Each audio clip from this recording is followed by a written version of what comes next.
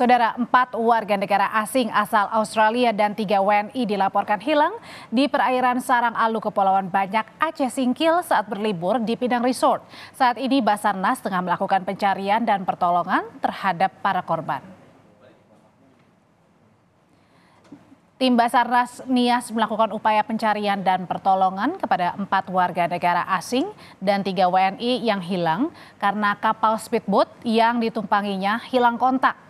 Diduga kapal ini berada di perairan Sarang Alu dan Kepulauan Banyak, Kabupaten Aceh Singkil, Aceh. Sebelumnya, rombongan merupakan wisatawan yang hendak berlibur ke Pinang Resort mengaku 12 WNA asal Australia dan 5 WNI berangkat 13 Agustus menggunakan dua unit speedboat kayu.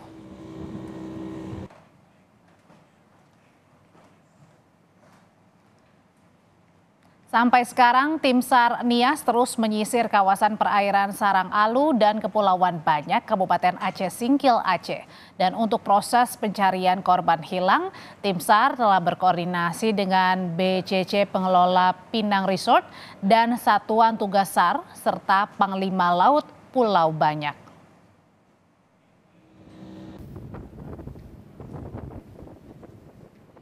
Informasi yang kami peroleh ada dua perahu cepat yang berangkat dari Pelabuhan Nias Utara menuju ke Pulau Pinang Aceh Singkil. Perahu yang membawa 10 penumpang selamat, sedangkan perahu yang membawa tujuh penumpang dilaporkan hilang. Kedua perahu tersebut sempat menghadapi cuaca buruk di perjalanan. Dan saat ini tim SAR masih terus berupaya mencari tujuh penumpang speedboat yang hilang kontak di sekitar perairan Sarang Alu, Kepulauan Banyak Aceh Singkil. Kita pantau pencarian tujuh penumpang speedboat ini. Sudah ada jurnalis Kompas TV Henry Yanto Hawalan. Henry, sore sudah ada informasi yang terakhir bagaimana proses pencarian. Hasilnya sudah ada Henry? Ya, selamat sore Audrey. Uh, saat ini Basarnasnya sesuai dengan informasi yang mereka terima kemarin eh, tadi pagi bahwa ada uh, dua uh, kapal speedboat yang mana saat ini satu yang dalam pencarian. The, empat di antaranya uh, warga negara asing dan tiga warga negara Indonesia. Dan saat ini uh, dalam proses pencarian selain pencarian menggunakan uh, kapal negara Sarnakula dan uh, kapal uh, yang lain yang yang dimiliki oleh uh, Basarnas uh, juga pencarian dilakukan dengan uh, penggunaan uh, pantauan udara menggunakan maskapai uh, susi air dan sampai saat ini uh, para korban masih belum ditemukan begitu Audrey. Hmm, sebenarnya pertama kali ini yang melapor siapa? Apakah satu kapal lagi Henry? Uh, informasinya bahwa um, kan berangkat dari uh, Pulau Nias atau Nias Utara itu ada dua uh, speedboat masing-masing uh, berisi uh, satu speedboat pertama berisi 10 penumpang dan satu speedboat yang kedua berisi tujuh penumpang. Dan uh, mereka bertolak dari Nusantara menuju ke uh, Pinang Resort. Mereka di perjalanan ketemu dengan atau bertemu dengan cuaca buruk eh, berupa gelombang tinggi dan uh, satu speedboat uh, sempat berlindung di Kepulauan Alu dan mereka hmm. uh, informasinya akhirnya sampai ke satu perahu uh, satu speedboat lagi yang berusaha untuk melewati okay. tersebut. Tapi uh, ketujuh uh, Oke, sambil memperbaiki jaringan komunikasinya, Hendrik, pertanyaan selanjutnya adalah sebenarnya jarak uh, antara satu pulau menuju ke tadi ya Pinang Resort ini berapa lama dan sejak kapan dimulai perjalanannya? Ya, uh, kalau untuk uh, perjalanannya ini sebetulnya menempuh waktu uh, 6 ke 7 jam. Karena uh, cuaca buruk itu uh, akan memakan waktu yang uh, lama uh, begitu untuk jarak antar pulau. Hmm.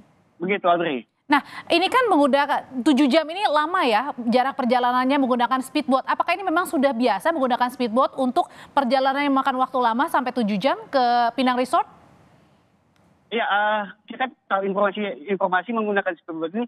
Apakah speedboat ini berasal dari uh, pengelola uh, resort sendiri atau uh, pihak yang lain begitu Audrey dan biasanya ini menggunakan uh, speedboat yang lebih besar ini sepertinya kalau kami melihat ini speedboat berukuran kecil begitu Audrey.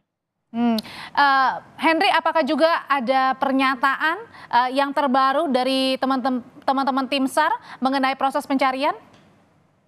Ya, saat ini kan cuaca di laut itu uh, masih cuaca buruk, uh, masih ada gelombang dan disertai dengan angin kencang. Mungkin uh, mereka uh, informasinya bahwa mereka kesulitan memang dalam proses pencarian dari uh, pagi tadi sampai ini, begitu, Audrey.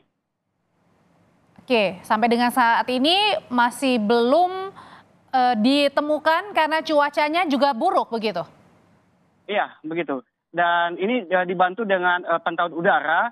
Tadi bertolak sekitar pukul uh, 14 itu bertolak dari uh, Bandara Udara Binaka uh, menyetari uh, apa uh, kawasan udaranya antara Pulau Utara dengan uh, Singkil begitu Audrey. Hendrik, jurnalis Kompas TV, terima kasih melaporkan dan saat ini saudara pencarian untuk satu speedboat memang masih terus dicari oleh tim SAR dan kami punya informasi terbaru dari proses pencariannya. Kita simak wawancara berikut ini.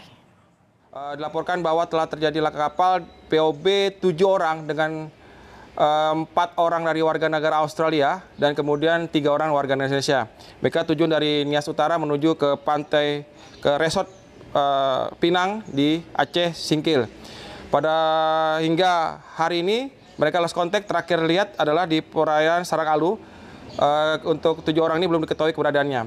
Untuk SAR gabungan dari Basarnas, TNI dan Polri dan Satgas Aceh Sing, uh, Pulau Banyak melaksanakan pencarian di sekitar LKP dengan tiga lot yaitu KNN Nakula 230, kemudian dengan RIP 04 dan juga ambulan dari uh, Satgas Aceh uh, desa di daerah uh, Pulau uh, Banyak.